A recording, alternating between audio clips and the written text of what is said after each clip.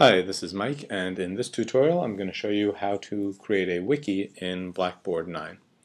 Okay, so first thing that you need to do is decide where you want to keep your wiki. Um, I'm going to go ahead and make a wiki um, content area. I'll go to the plus on the place I'd, in the um, content in the Blackboard side I'd like to create the wiki, and I will go to content area, and I'll say wiki. And I'll make that available to users by checking the box and click submit. So now I've got a wiki menu item here, and I can drag that up at the top if I'd like, because it's going to be important to me. And now I can select the wiki content area by clicking on the wiki menu item, and now you'll see I'm in the wiki area. And to create a wiki, I will go to um, Tools, and under the Tools area, at the top of the page here, you'll see Wikis. So I'll click on Wikis, should take just a minute. And I can either link to the wikis page or I can create a new wiki. And I'll create a new wiki.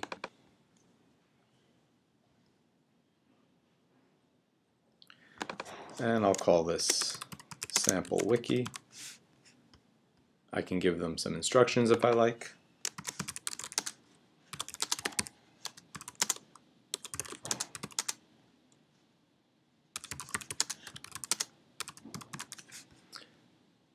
I can set some date and time restrictions, which I won't.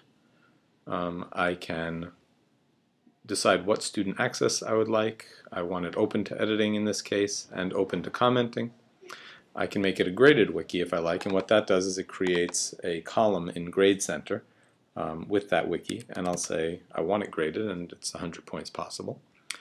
And it will also ask you if you'd like to uh, show the participants in these grading status after a certain number of page saves. I'll just leave the default as um, after every one page save. And that's basically it. I will click submit.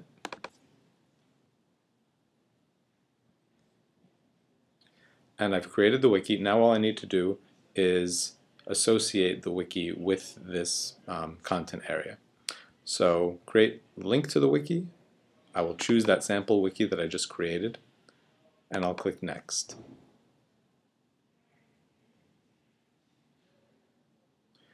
And now it's going to give me a whole other bunch of parameters that I can fill out if I like. Um, the text is taking the text that I originally had written.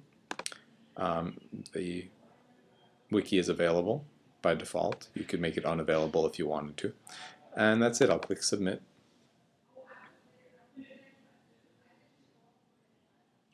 And that wiki is now ready for use.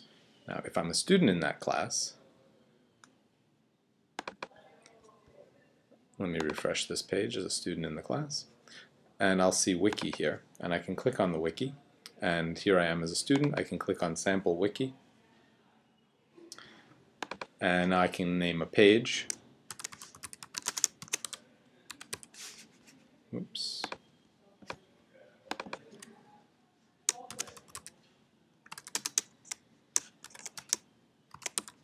name the page.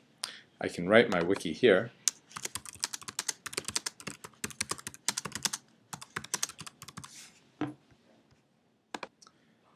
And I can click submit.